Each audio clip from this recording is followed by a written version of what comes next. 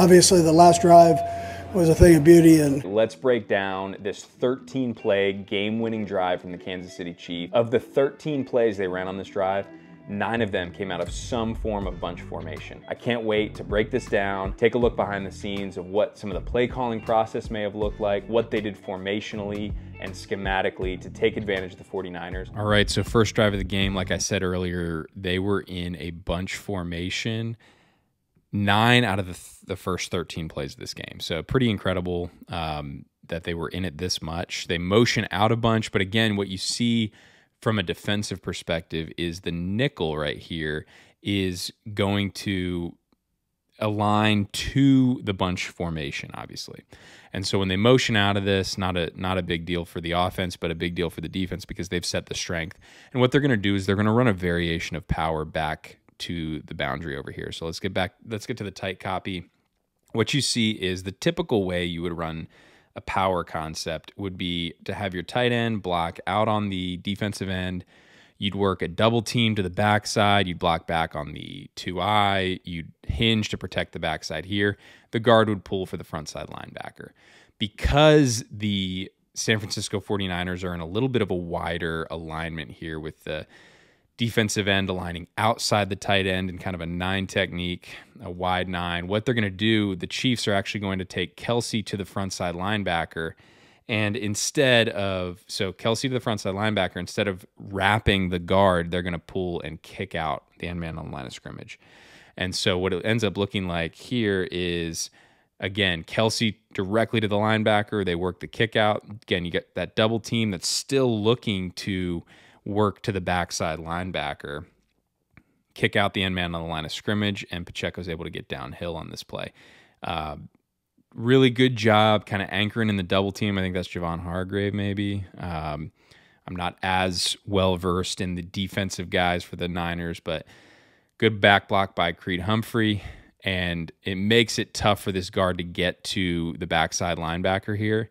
You'd think maybe Pacheco could work his way here. Um, but it's again, this is a tough a tough concept. Get downhill, get yards. Again, you want to start that drive off on the on the right foot.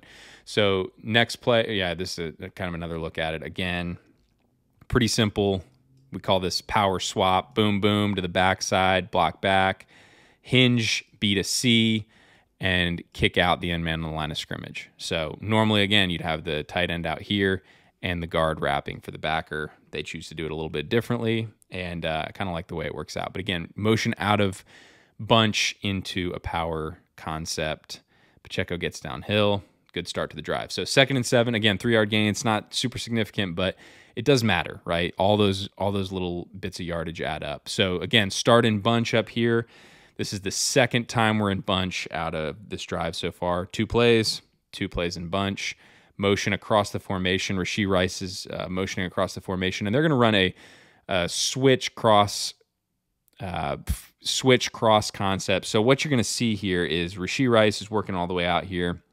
What they're going to do is they're going to have a switch release to a cross over here from uh, Justin or Watson, blanking on his first name here. So then spray release to the backside basic or dig.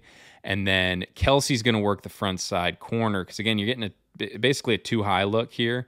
And what Rashee Rice is going to work to is, I believe, an inside out return route, whip route. Um, and then Pacheco is going to check and release into the flat. So it's not it's not exactly Y cross. There's like a little bit of dagger smash um, look to this, but I, I would put it in the Y cross family. You get the switch release um, from from the receiver here. Um, you see how it kind of sorts itself out. Switch release on the backside. Rashee Rice running the whip route. Kelce on the corner is going to hold those two, uh, the corner and the safety. Rice is open underneath. Pitch and catch. Boom. Um, we're in pretty good shape. So that's second and seven. Good, easy completion.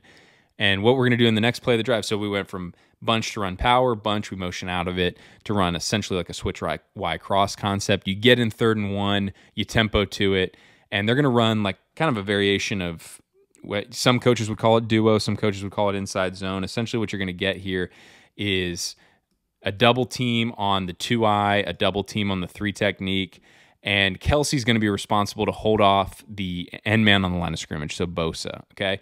Now, normally the way you would sort this out, if you're going to run some sort of duo concept, is they would work the front side double team to, I guess it would be the Sam or the nickel.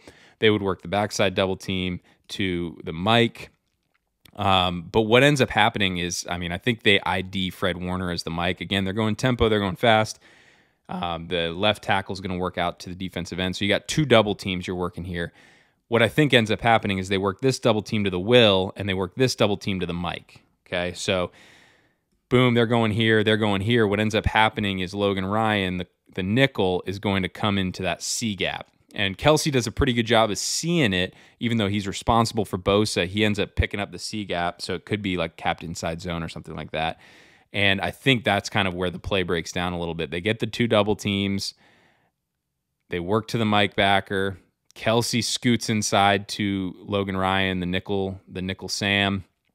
They break the double team here. Again, a nice job by the defensive, uh, a nice job by the nose and the two eye to break the double team.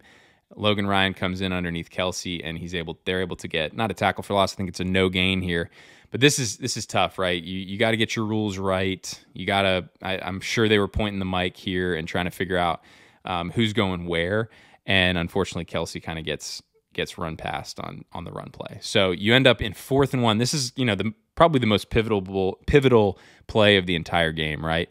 Um, up until this point, you got a bunch formation. What they're going to do is they're going to motion Kelce over to get kind of your man zone indicator. Kelce motions over, and then all they're going to do is they're going to run essentially a boot concept or you know naked concept. So what they're going to do is with Kelce motioned over, they're going to run a front side double stick, just get past the sticks, turn around, look for something. They're going to play action this way. So you got the offensive line is blocking, you know, whether it's wide zone, outside zone. The tight end's going to work the outside zone into the over or the cross route, and Kelce's going to run the slide into the flat here. And so basically, what they're doing is they're going to leave Bosa unblocked, uh, which you know that's a that's a big decision to make here. But he's been bending hard off the edge all game long. You think you know maybe we can get away with it? So boot naked. What Mahomes is going to do is he's immediately going to look at Kelce in the flat. Logan Ryan jumps it, and what he's saying to himself here is like, I'm just going to get get to the sticks, man. Get get the first down. But I love that they gave him kind of a an option to run or pass in the flat. Uh, get your best athlete the ball in space. So again, I, I really like the setup here. It's a great call on fourth down. The slide route pass. Now, what a lot of people have said is, you know, why didn't Bosa blow up the the slide route from Kelce? Well, I mean, there's there's a decent chance, right? That Bosa's thinking he's coming for a split zone, and they're just trying to get downhill. So Bosa's going to try and win across his face, make the tackle for loss, and end the football game right there. Uh, but they do a really good job running the naked. Mahomes pulls the football. Now, a lot of times, what you're going to see from the defense here is if Bosa were to bend hard off the edge, then the linebacker would be responsible for a scrape exchange. That's kind of like your typical zone read rules for a defense. But Fred Warner is worried enough about Mahomes throwing the football that he's actually going to work back, right? He's going to work back to try and gobble up this this stick route. They're kind of passing things off. Kelce goes in the flat. They obviously jump Kelce, and then then you're kind of left with nobody to play the quarterback. So again, it's it's one of the challenges I think of of playing a mobile quarterback like Mahomes in this type of environment is that he can get outside the pocket and it almost turns into like a triple option. I know it's technically not triple option. I don't think he's reading Bosa at all. This looks like pure naked to me. But he's able to get on the edge, convert the first down. Huge play in the game, right? So you go, you convert a fourth down, you got first and 10 on your 42. What do you know? What are we in again? We've been talking about it all video long, right? We get that bunch formation to the field and you know, this is this is I think it's a great strategy from Reid and company, right? We're going to get in bunch formations, we're going to force them to set the strength and then we're going to motion back to two by two and get into kind of some more typical stuff. So Valdes-Scantling comes in motion here. This is a pretty cool concept that they get to what they're going to run is essentially a smash concept out here, but it, from a cut split alignment, you've got an out and up, which is a pretty cool way to run smash. He's going to come in motion and kind of sit down. the hitch. So you almost have a follow route. And if you get a two high structure, you can kind of see the safety over here off the screen. He's going to push off the hash. He's going to be the flat player, technically, right? And so if you get an out and up, he's probably going to try and sink under the the out, and then the up obviously bites the safety. And then what they're going to do is they're going to work Kelce across the formation. So essentially, what they're doing is they're picking on the will linebacker a little bit. They're saying, can he is he going to be quick to match um, more vertically? Is he going to bite on Kelce? Um, whether they try to roll a coverage or not, they're trying to throw the ball at 48 right here, and they had you know quite a bit of success with it. So out and up smash. They got the over route coming from the the field back into the boundary. Kelce into the flat. Again, easy pitch and catch completion. Now, obviously, this is a pretty easy coaching point. We don't want to take negatives here. This is a five six yard completion. Turn get upfield. Do not take a four yard loss here. Not not ideal, obviously, um, but good concept. Just didn't finish the play. Again, motioning out a bunch. That's been a big theme of this drive so far. That's what they've had a lot of success with. So here they are again. We're in bunch one more time. Motion out of it across the formation. And all they're going to do here is, you know, they see pre- a pressure look from from the 49ers, right? You're probably going to get some sort of pressure. They're playing across the line here. So if you're a coach in this type of scenario, what you're thinking is, you know, we got to get to a hot somehow, right? So pitch and catch, they're probably all converting routes here and just taking the five on a second and 14. And for the for the Niners, they're saying eh, let's tackle it up and put them in third and long. That's that's the goal. So, you know, game of cat and mouse here at this point in the game. Take the pitch and catch, Valdes-Scantling, get what you can. Again, simple stuff. Now, I thought the Chiefs did a pretty good job of protection on this drive. Um, when you have six guys theoretically coming, right? That can be a little nerve wracking for the for the for the offense. So what they're doing is they're in a slide protection here. So Creed Humphrey's working backside. Since he's got a three technique, Trey Smith is going to work front side. Jawaan Taylor is theoretically responsible for the end man on the line of scrimmage, but he's going to have to sift back inside. So we call this a sift technique. So he's going to set vertically. If Bosa comes, you're thinking uh, Mahomes is going to be hot off the backer. But if he comes hard, then we're going to have to sift back inside and throw hot off the edge. That's typically how it works. So what happens is Pacheco, uh, not a great line here. Pacheco is going to swing release here. And what ends up happening is, and this is typical, right? When you're bringing pressure from a defensive perspective, you're coming off the edge, but you have peel responsibility. So you got to peel with the back if you're the end man on the line of scrimmage.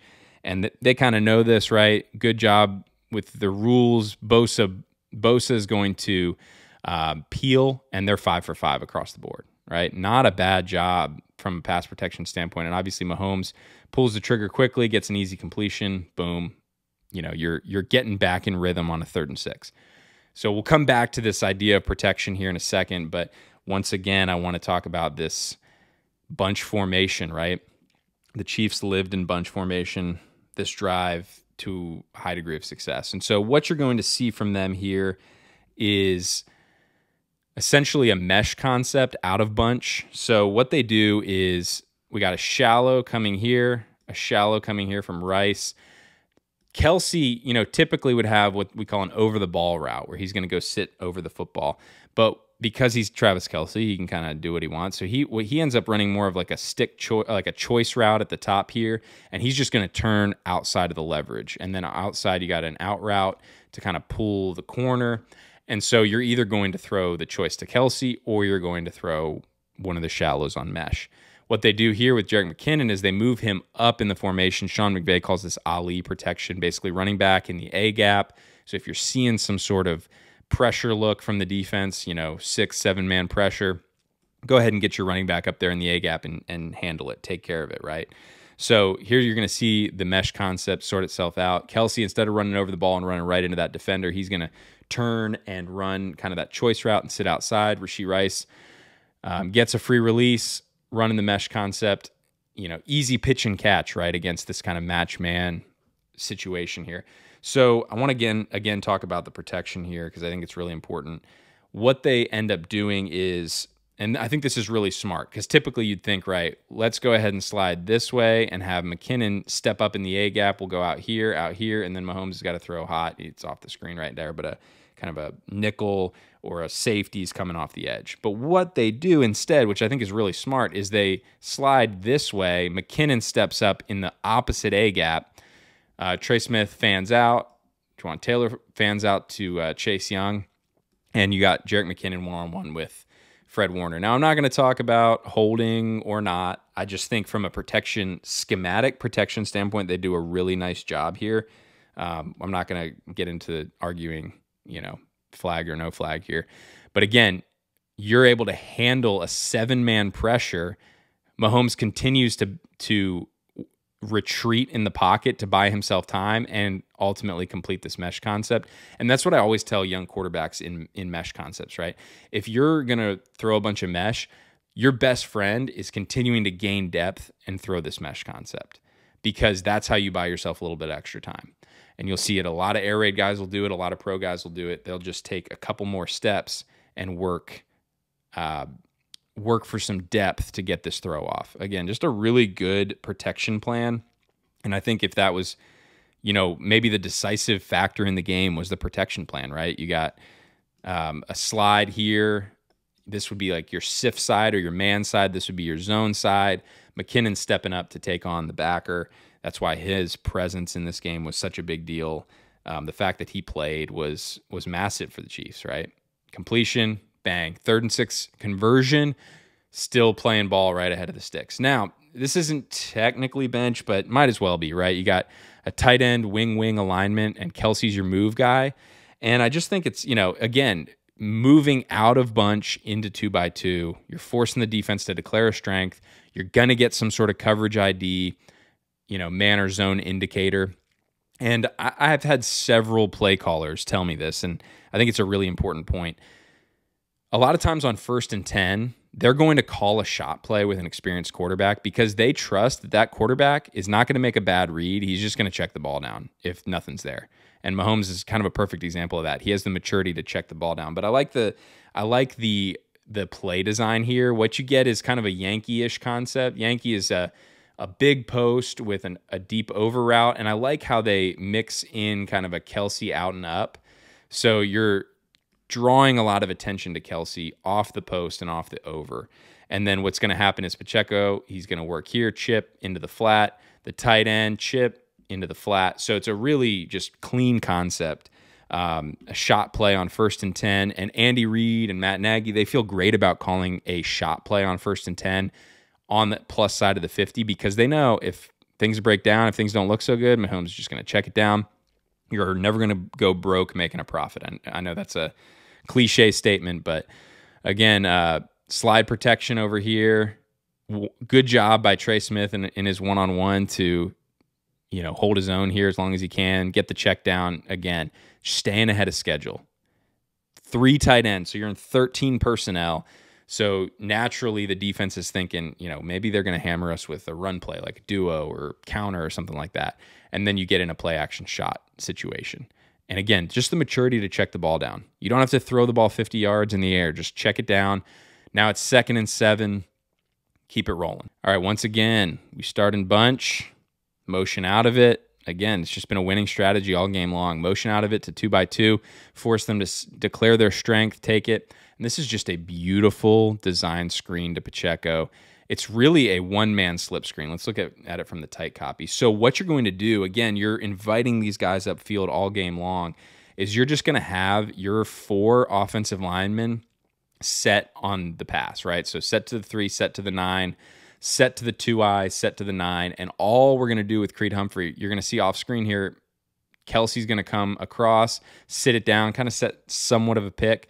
And all you're going to do with Creed Humphrey is he's going to release out and lead this screen Pacheco sorts and works out on a on a little slip screen, but it's not we're we're not releasing everybody, right? It's four for four up front. The free man releases. It's almost like QB draw mechanics a little bit. It's it's pretty cool the way they do it, right? So Mahomes drops back. You can see everyone engages. No one else is releasing, right? This is a one man screen. Creed Humphrey is a freaking phenomenal athlete. He's able to get out in space, covers up the will linebacker.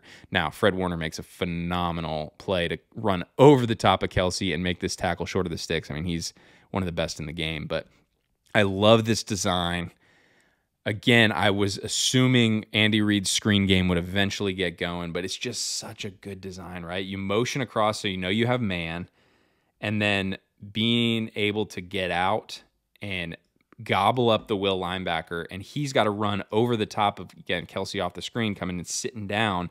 He's able to run over the top. He eventually makes the play, but just a brilliant design, easy pitch and catch. Now you're in a third and one situation, okay? So third and one, we're in trips with a cut split alignment from the tight end. And this is where Patrick Mahomes is, you know, the best player on the field, right? He's going to set again, you're what you're seeing and what you've seen on this drive is those linebackers have had to have had to bail for depth and really try to gobble up receivers and Mahomes is just going to step up through that A gap, right? The 2-eye, he's going to work an outside move on Trey Smith. So if you if you look here, you know, from a gap integrity perspective, you got a three technique and a four eye. He's really supposed to work in that A gap. Boom here, off the edge here. When Armstead works an outside move, Mahomes just says, "Okay, I'll I'll take that. I'll take it all day long." Right. And so, again, just best player on the field, right? Best player on the field makes a play. Just that's why he's that's why he's the goat right now. There's no doubt about it so let's go back to kind of the schematic stuff here. Again, Mahomes is just going to make plays, and you got to live with it. So now they're going to go kind of an inside, an insert run play, insert ISO, pretty much man blocking across the board, more or less, um, and then inserting for the will linebacker. So basically, here maybe work a quick double up to the mic. They're going to block out on the three, block out on the nine, insert for the will. Just trying to get it's basically like almost like a gap scheme or like a man blocking scheme. They're just going to try and get a dive play, get downhill, and again, 49ers have a really good defensive line. They're gonna they're gonna hold their own for sure. Pacheco gets what he can, always finishes forward. That's what you love about him. But insert ISO, not a bad play, right? After you after uh, you get a quarterback scramble, you get a little bit of tempo. Now it's second and seven. Okay, so here's where they've deviated a little bit from the the bunch formations, right? Now they've got Kelce over here in alignment on Bosa. And what they ran earlier in the game is they ran basically like a switch verts concept with a swing. And they ended up hitting this right here because the safety rolled down on Kelce. So what they're what they're trying to do now, I think, is invite you know a different maybe a different form of coverage or show kind of a similar look in the low red zone like they did earlier in the game. And this time they're going to run that patented Andy Reid tight end middle screen Pacheco on the rail route inside throw to Kelce screen get him downhill. Now if you look at the tight copy of this man this could have scored right here. So you want to engage and work back inside. Trey Smith wants to invite him across the face and throw Jawaan Taylor wants to work back out here. And if if Mahomes is able to get this throw on the on the inside shoulder of Kelce, or uh, yeah, really just a just a cleaner completion here. I think what ends up happening is he's going to take it here and he might score because the the catch wasn't clean, the ball wasn't clean. He kind of ends up in the trash a little bit, has to fight across instead of working back vertically. So you know not ideal execution, but again, Kelce does a great job of getting what he can out of this, and uh, you know, making making some hay, making some yardage. So you got first and goal from the three. Now everybody was commenting when you know when I was watching this, everybody's commenting like 26 seconds left. What's going on here? They seemed kind of laissez-faire with the way they were getting to the line, but hey, they knew what they wanted to do. They get to it. So essentially, what they're going to do pretty simple. You may have seen it before in the the World uh, Super Bowl against the Philadelphia Eagles. That zipper motion into the flat. They're going to pull the guard, I believe, and Mahomes is going to go to work. He's going to he's going to make it happen. So zipper motion, the pull. Mahomes gets out on the edge. Easy pitch and catch completion versus man. No chance they were going to stop this. Now, here's one of the cool things to think about is The Kansas City Chiefs are pretty pretty renowned for the way that they run power read in the red zone. So one of the things that they do is when they run power read, they'll leave the defensive end unblocked, they'll pull the guard, they'll fake this handoff and then bring the running back back here and and Mahomes will kind of shovel it to him. So you want to you want to imagine with all the film study Bosa's doing, he's like, I'm gonna blow up a shovel pass right here. So he's gonna come hard off the edge, trying to blow this thing up and tackle the running back because he doesn't want McKinnon to come back underneath on the shovel pass. Mahomes is able to get out on the edge, pitch and catch, touchdown wide open because you can see that motion causes a switch and there's just nobody out there for him. So this is a masterpiece, right? Nine out of 13 plays are from a bunch formation, zipper motion.